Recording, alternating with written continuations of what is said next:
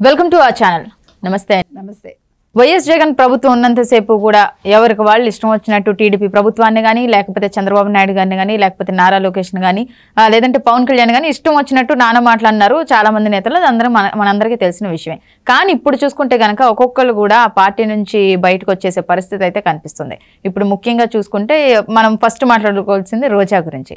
రోజా ఎలా మాట్లాడారో ఆవిడ నోరేంటో మనందరికీ తెలిసిందే. కానీ ఇప్పుడు వైఎస్ జగన్కి వైజేపీకి మొత్తానికి గుడ్ బై చెప్పేస్తున్నట్టుగా అయితే వార్తలు వచ్చాయి. అసలు ఆ వివరణ మీ నుంచి? అంటే ఇది ఊహించిందే జగన్మోహన్ రెడ్డికి. అంటే రోజా ఝలక్ ఇవ్వటం అనేది. రోజా పార్టీ నుంచి మారిపోతుంది పార్టీ నుంచి జంప్ అవుతుందని ఎవరు ఊహించలా. కానీ మనం ఎప్పుడో చెప్పామనుకోండి అది వేరు. కానీ ఇది అంటే మనకేం కొత్త కాదు ఆవిడ గురించి అనుకోవటానికి ఎక్కడ అవకాశం ఉంది ఎక్కడ మనకి పదవి దొరుకుతుంది ఎక్కడ మనకి అంటే పనులు అవుతాయి అనుకుంటే అక్కడ ఉంటారు ఆవిడ. ఇప్పుడు తెలుగుదేశంలో ఉన్నారు. మీకు తెలుసా అసలు? తెలుగుదేశంలో చంద్రబాబు నాయుడు గారి బూట్లు ఒక రోజు ఆవిడ తొడవబోయిందని? Do you know that sir తిట్టారట. Chandrababu Naidu గారు ఇలాంటి పనులు ఎప్పుడూ చేయకమ్మా. ఆత్మగౌరవం చాలా ముఖ్యం మనకి. నువ్వు జీవితంలో పైకి రావాలి కానీ ఇలాంటి పనులు మాత్రం చేయకని చెప్పారట. Hmm. మనం నమ్మగలమా?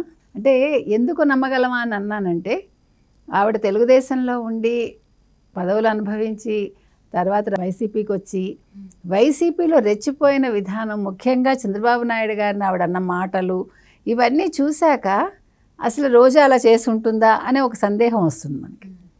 అంటే మనిషి ఎంతకైనా దిగజారుతాడు. పదవి కోసం కావచ్చు లేకపోతే పనుల కోసం కావచ్చు ఏదైనా కూడా. అంటే రోజా జీవితం అంతా కూడా ఆవిడ చేతుల్లో ఎప్పుడూ లేదు. మీరు చూసుకున్నట్టయితే.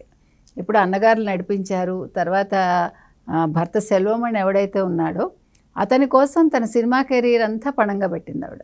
అతని కోసం సినిమాలు తీసి ప్రొడ్యూసర్ అయ్యి ఆవిడ చాలా నష్టపోయి భారీ నష్టాలే చవి చూసింది.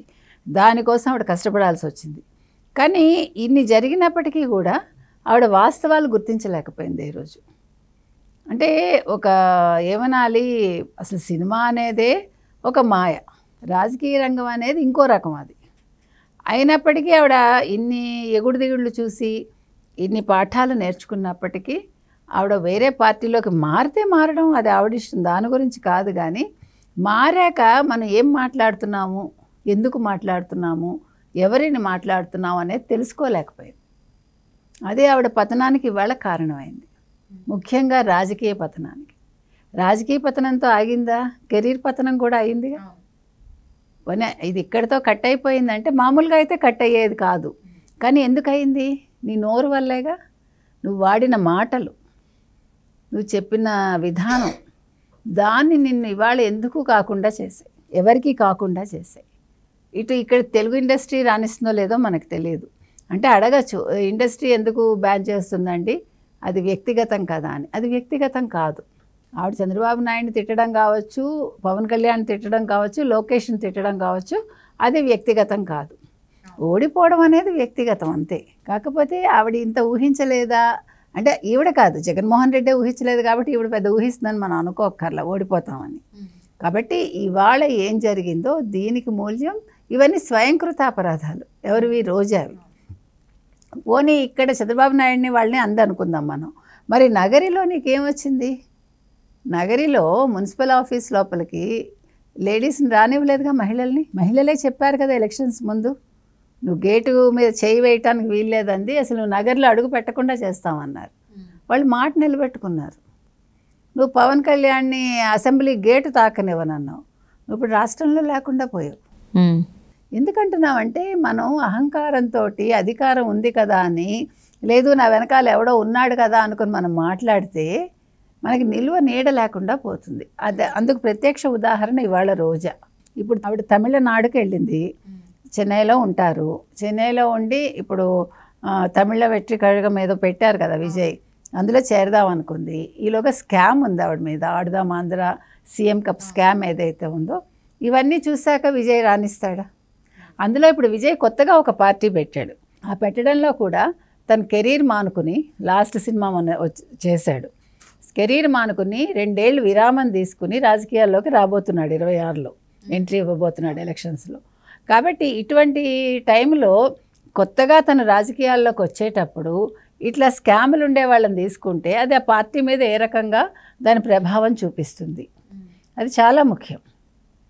ఇప్పుడు ఒకసారి ఎన్నికలు అయ్యాక రెండోసారి ఎన్నికలప్పుడు నువ్వు ఎవరిని తీసుకున్నా ప్రజలు పెద్దగా గమనించరు. కానీ నీది first you are entering in to politics this is your first step actually so ఇప్పుడు నీ మీద వంద కళ్ళు ఉంటాయి. ప్లస్ ముఖ్యంగా మనం మనం చూసాము కరుణానిధి మీద పుస్తకం రాసినప్పుడు ఒక సభ జరిగింది. ఆ సభకి స్టాలిను ఉదయనిధి మారన్ వచ్చినప్పుడు రజనీకాంత్ దానికి చీఫ్ గెస్ట్గా వచ్చారు. హిందూ ఎడిటర్ రామ్ కూడా అందులో ఉన్నారు. ఆ రోజు రజనీకాంత్ చాలా పొగిడాడు స్టాలిన్ని. సరే కరుణానిధి గురించి పొగట్టం అనేది పెద్ద విషయం కాదు. స్టాలిన్ చాలా బాగా చేస్తున్నాడు అనేసి చాలా ఊహాగానాలు వచ్చాయి. ఏంటి రజనీకాంత్ రాజకీయాల్లోకి వస్తాడా డిఎంకేలో చేరతాడా అని. కాకపోతే రజనీకాంత్ అలాంటి తెలివి తక్కువ పని చేయడం అనుకోండి కానీ ఇది ఏమి మీకు ఇంప్లికేషన్ ఇస్తుందంటే దీని దీని ప్రభావం ఎక్కడ ఉంటుందంటే విజయ్ పార్టీ మీద ఉంటుంది. ఓకే. సి మీరు ఒక చిన్న సంఘటన అనుకుంటాం కానీ ఆ చిన్న సంఘటన ఎంత పెద్ద ప్రభావాన్ని చూపిస్తుంది అనేది మనకి ఎప్పుడు కూడా భవిష్యత్తులో తెలుస్తాయి. సో రజనీకాంత్ అనేవాడు మాకు అండగా ఉన్నాడు అని డిఎంకే చూపించుకుంది అక్కడ. రజనీకాంత్ కూడా ఫ్యాన్ ఫాలోయింగ్ ఉంది. విజయ్కి కూడా చాలా ఫ్యాన్ ఫాలోయింగ్ ఉంది చెప్పాలంటే మామూలుగా కాదు. కాబట్టి ఇలాంటి సందర్భంలో రోజాని విజయ్ తీసుకునేంత తెలివి తక్కువ పని చేస్తాడా? కానీ ఇక్కడ నుంచి వైఎస్ఆర్సీపీ పార్టీ నుంచి బయటకు వచ్చేసిన తర్వాత చెన్నై వెళ్ళిన తర్వాత వెళ్ళి డిఎంకే పార్టీని కలవటం లేదంటే ఇప్పుడు విజయ్ పార్టీలోకి వెళ్తుంది ఖచ్చితంగా వెళ్తుంది. కాబట్టే ఆవిడ సోషల్ మీడియాలో వైఎస్ఆర్సీపీకి సంబంధించిన ఫోటోలు కానీ లేకపోతే డీపీలు కానీ జగన్తో దిగిన ఫోటోలు కానీ అన్ని తొలగించడం జరిగింది అని అయితే సమాచారం అయితే వస్తుంది. పక్క సమాచారం అయితే ఉంది. దాని గురించి ఏం చెప్తారు? అంటే డిఎంకేలో చేరితే నష్టం లేదు. ఇప్పుడు డిఎంకేలో అంతకుముందు రాధిక చేరారు శరత్ కుమార్ చేరారు చాలామంది ఖుష్బు ఉన్నారు అందులో అంతకుముందు. అందరూ ఉన్నారు. నటీమణులు కానీ నటులు కానీ అందరూ చేరారు. కాకపోతే విజయ్ది ఒకటే మనకి సందేహం. ఇవాళ మీరు చెప్పినట్టు ట్విట్టరో లేకపోతే వాట్సాప్లోనో వాట్ ఎవర్ వేరేవో ఆవిడ మొత్తం తీసేశారు. డీపీలో కావచ్చు. మొత్తం పార్టీ చిహ్నాలు కానీ జగన్మోహన్ రెడ్డి ఫోటో కానీ ఏవి లేకుండా చూసుకుంది. ఓన్లీ ఖాళీ మాజీ ఓన్లీ ఎక్స్ఎమ్మెల్యే అని పెట్టుకున్నారు. కాబట్టి ఎక్కడో ఒక చోట వెళ్ళే అవకాశం అయితే ఆవిడ ఆవిడ ప్రయత్నాలు అయితే ఆవిడ చేస్తోంది. ఇప్పుడు ఇంకొక విషయం ఏముందంటే మీకు శశికళ ఈ మధ్యన బయటకు వస్తుంది బాగా. శశికళ ఎప్పుడైతే జైలు నుంచి బయటకు వచ్చాక ఆవిడ చాలా పోరాటాలు చేసింది. దేనికోసం? జయలలితది ఆ పోయస్ గార్డెన్ ఇల్లు ఉంది కదా ఆ ఇల్లు విషయంలో ఆవిడ ఆక్యుపై చేసుకుందాం అనుకుంది. కానీ అది కోర్టు వచ్చి అంటే గవర్నమెంట్ కూడా వాళ్ళ మేనకోడలు మేనల్లుడు దీప దీపక్కకి ఇచ్చేశారు. ఇచ్చేసినప్పుడు ఈవిడ ఏం చేశారంటే దానికి ఎదురుగుండా ఒక ఇల్లు కట్టుకుంది ఈ మధ్యన పోయిస్ గార్డెన్లోనే ప్లస్ ఇప్పుడు మళ్ళీ రానున్న ఎన్నికల్లో ఆవిడ పోటీ చేయాలనుకుంటారు సో ఆవిడ అంటే ఆవిడ ఎప్పుడైతే జయలలిత చనిపోయారో అప్పటి నుంచి కట్టుబొట్టు అంతా కూడా జయలలిత మాదిరిగానే చేసుకుంటుంది ఆవిడ. ముడి వేసుకోవటం దగ్గర నుంచి ఆ శారీ కట్టుకునే విధానం ఆ కలర్స్ కలర్ కాంబినేషన్ ఆవిడ ఎటువంటి శారీస్ కట్టుకున్నారో అలాగే కట్టుకుని బొట్టు కూడా ఆవిడ జయలలిత లాస్ట్లో ఇట్లాగా తిరునామంలాగా పెట్టుకుంది. అంటే పొడుగు బొట్టు పెట్టుకున్నారు వైష్ణవిజం కదా. సో ఆవిడ ఎందుకంటే ఆవిడ హెబ్బర్ అయ్యంగార్స్ కర్ణాటకకు చెందిన మైసూర్కి చెందిన ఆవిడ ఎవరు? జయలలిత. హెబ్బర్ అయ్యంగార్స్ అంటే వాళ్ళు వైష్ణవ వైష్ణవిజం వాళ్ళది. కాబట్టి ఆ తిరునామం ఏదైతే ఆవిడ పెట్టుకుందో అదే విధంగా ఈవిడ మీరు చూసా చూసారులో నాకు తెలియదు అరెస్ట్కి ముందు కూడా షీ స్టార్టెడ్ అనమాట అట్లా మొత్తం. ఎవరు? శశికళ. సో మరి శశికళ పార్టీలోకి వెళ్తుందా. అనేది కూడా సందేహం. ఎందుకంటే చాలా ఆప్షన్స్ ఉన్నాయి ఆవిడకి. కాకపోతే ఆవిడ తీసుకోవాలి ఎటు వచ్చి. డిఎంకేకి అయితే తీసుకున్నా పెద్ద ఏం ఫరక్ పడదు. ఎందుకంటే ఆల్రెడీ కనిమొళి మీద అంత టూ జీ స్కామా ఏదో స్కామ్లో ఆవిడ బయటకు వచ్చింది కదా. అప్పుడు రాజాది ఆవిడది పేర్లు వచ్చాయి. ఆవిడ శిక్ష అనుభవించి బయటకు వచ్చింది. అవన్నీ జరిగాయి. కాబట్టి ఇప్పుడు రోజా మీద ఇన్ని ఉన్నప్పటికీ కూడా తీసుకునే అవకాశం అయితే ఉండొచ్చు మనకు తెలియదు సరే రోజాకి భాష వచ్చు and she can convince people మాట్లాడే విధానం తెలుసు కాబట్టి అందులో తనకి భర్త సపోర్ట్ కంటే కూడా అన్నగారి సపోర్ట్ కూడా చాలా ఎక్కువ. మొదటి నుంచి కూడా అన్నలు ట్రైన్ చేశారు ఆవిడని.